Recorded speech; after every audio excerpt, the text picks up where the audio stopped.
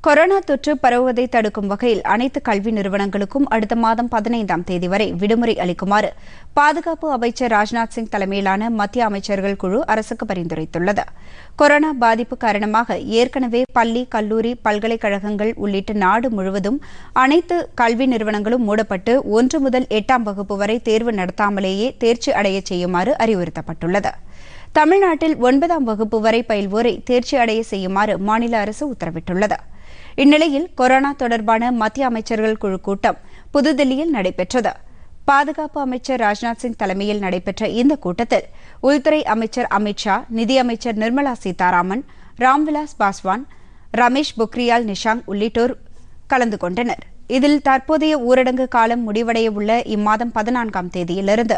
மேலும் நான்கு வாரங்களுக்கு அனைத்து கல்வி நிறுவனங்கள் வணிக வளாகங்கள் மற்றும் வழிபாட்டு தலங்களை திறக்க அனுமதிக்கக்கூடாது என்று அரசுக்கு பரிந்துரைத்துள்ளதாக தெரிகிறது.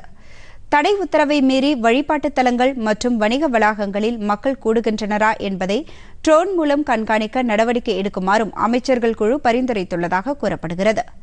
மேலும் கொரோனா பாதிப்பிலிருந்து எப்படி மீண்டு வருவது மக்கள் தொடர்ந்து வீட்டை விட்டு வெளியேறாமல் இருப்பதை ஊக்குவிப்பது உள்ளிட்ட அம்சங்கள் குறித்து அமைச்சர்கள் கருத்து தெரிவித்ததாக அமைச்சர்கள் குழுவின் தலைவரான ராஜ்நாத் சிங் தெரிவித்துள்ளார்.